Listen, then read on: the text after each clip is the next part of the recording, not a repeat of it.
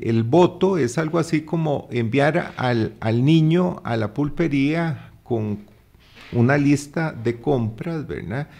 Pero, eh, ¿qué es lo que hacemos cada campaña electoral, ¿verdad? Vienen las personas, candidatos y candidatas, nos hacen una propuesta eh, eh, electoral de qué es lo que ellos sugieren, plantean para responder a la realidad del país y cada quien en función de eso decide.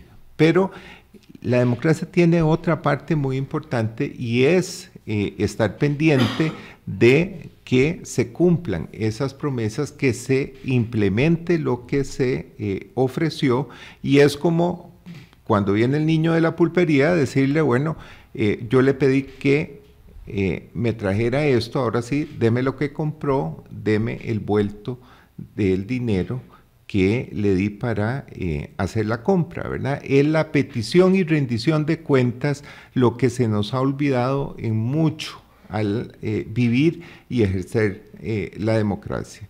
Es el estar pendiente de qué hicieron las personas que elegimos con el mandato que le dimos mediante el ejercicio del voto, en función de la propuesta y el planteamiento que nos hicieron en la campaña. Claro, eso es como el deber ser, Alberto, pero el problema es que cuando ah, alguien que no tiene con qué comer tres tiempos al día, o darle de comer a sus hijos, que es tan dramático, eh, un poco interesarse en los asuntos de la, de, la, de la polis, ¿verdad?